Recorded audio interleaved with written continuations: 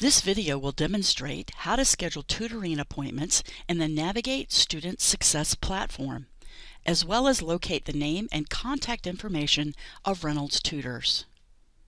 Use Google Chrome or Mozilla Firefox browser, locate and log into My Reynolds from the college homepage www.reynolds.edu. In the My Reynolds portal, locate and click on the Navigate Student icon. Once inside Navigate Student, click the Appointments icon on the left-hand side of your screen. You will then receive a prompt to schedule an appointment. The next prompt asks what type of appointment you would like to schedule. Choose Tutoring from the drop-down menu and then click Answer Next Question. In this example, we will choose Other Tutoring. Click Answer Next Question and you will receive an option window. Once you choose your option, click Done for a reason. Review the confirmation window of your choices. If they are all correct, click Continue to Next Step.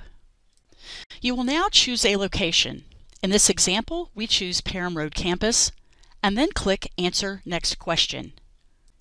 Confirm your location and continue to the next step. Next window, you will see a group of times available for your tutoring session.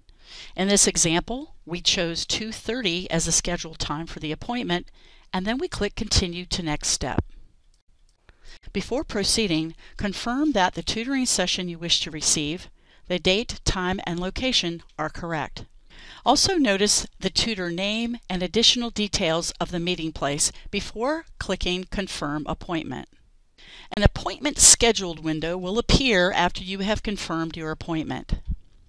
Walk-in tutoring is also available at Reynolds Community College. In this particular example, we will choose math tutoring, which gives us multiple options, and we'll choose one-on-one -on -one tutoring. We will then click Done for a reason. Once again, you will confirm the type of tutoring you wish to receive before continuing to the next step. You will also need to select a location. To confirm the location, you will click Continue to Next Step. This time, instead of scheduling an actual appointment, you will click on View Walk-in Times in the Appointment Scheduling window. The next window provides you with a schedule of someone who is available for walk-in appointments at your desired location.